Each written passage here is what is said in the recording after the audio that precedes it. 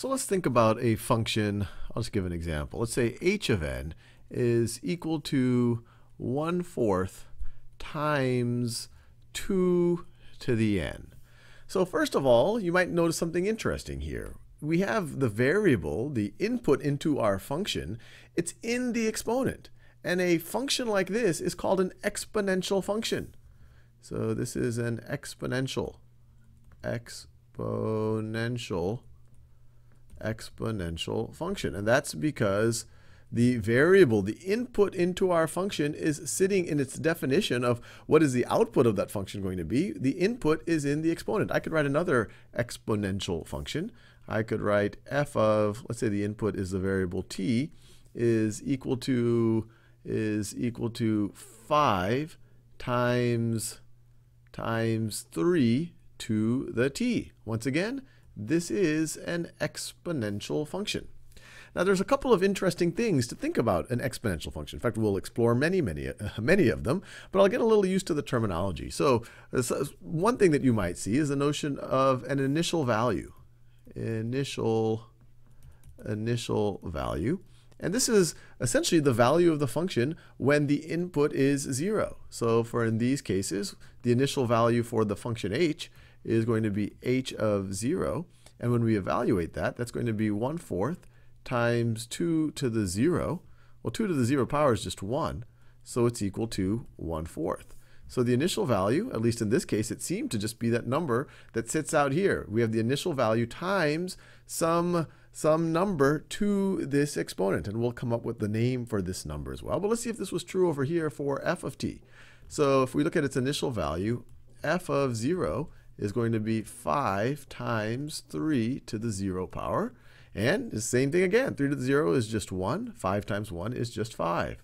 So the initial value is once again that. So if you have exponential functions of this form, it makes sense. Your initial value, well, if you put a 0 in for the exponent, then the, the number raised to exponent is going to be 1, and you're just going to be left with that thing that you're multiplying by that. Hopefully that makes sense, but since you're looking at it, hopefully it, it does make a little bit. Now, you might be saying, well, what do we call this number? What do we call that number there, or that number there?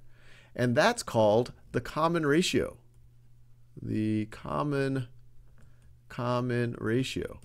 And in my brain, we say, well, why does it call why is it called a common ratio?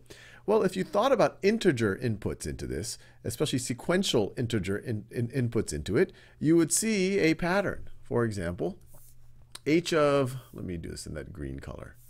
h of 0 is equal to, we already established 1 fourth. Now what is h of 1 going to be equal to?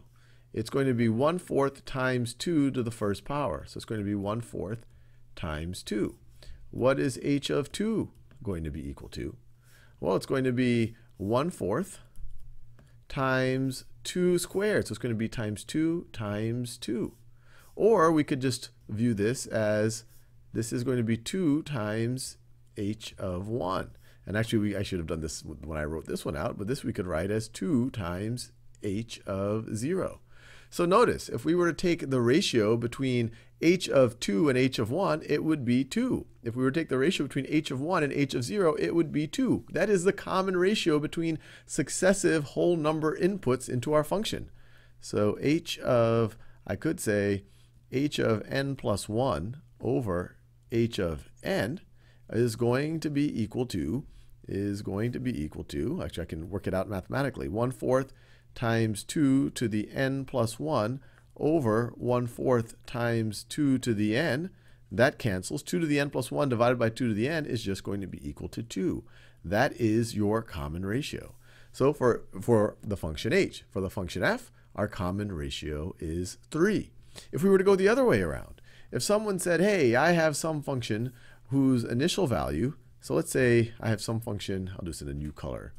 I have some function g, and we know that its initial, initial value is 5. And someone were to say its common ratio, its common ratio is 6, what would this exponential function look like? And they're telling you this is an exponential function. Well, g of, let's say x is the input, is going to be equal to our initial value, which is 5. That's a That's not a negative sign there. Our initial value is 5. I'll write equals to make that clear. And then times our common ratio to the x power. So once again, initial value right over there, that's the 5. And then our common ratio is the 6 right over there. So hopefully that gets you a little bit familiar with some of the, the parts of an exponential function, why they are called what they are called.